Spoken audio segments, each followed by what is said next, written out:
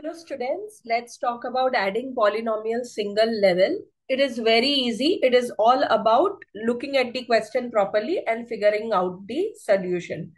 We know that these are called the degrees, fourth degree, second degree, third degree. So we will always go from highest to the smallest. So first I will write 19 and 5. Then after degree 5 comes degree 4. So plus 33 and 4 because they have said addition, I will do grouping. For n5, n power 5, we don't have any n power 5. So I'll just keep it like that. For n power 4, yes, I have got another n power. For n, then comes n power 3. So for n power 3, yes, I have got other another n power 3. Then comes n square. So I'll go n square. Yes, there is another n square. And then comes only degree 1. So that is only n. I'll write it like this. So 19 n 5. Then this is 36 n power 4. This is 12 n power 3. This is 13 n square plus n. This will be my final answer.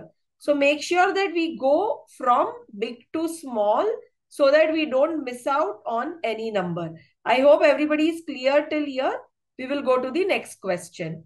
Next question will be like this. Again, we will go from highest degree to the smallest degree. So 16 power 4 is my highest degree.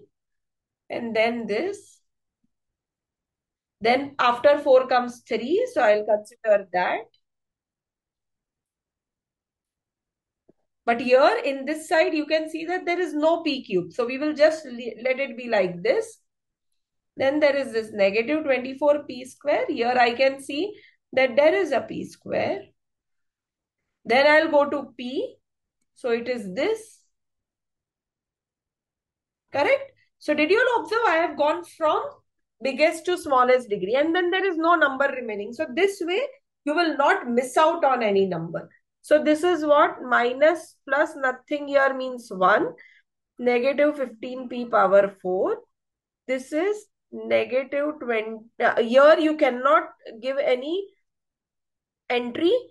Uh, sorry. Here you cannot do anything because this is cube and this is square. So we will keep this like this only plus 4p cube and here this is negative 1p square and this is plus 6p. I hope everybody is clear about this. Correct? So this is the way you all should do adding polynomials. Just compare the like terms together and from highest degree to the smallest degree you should go.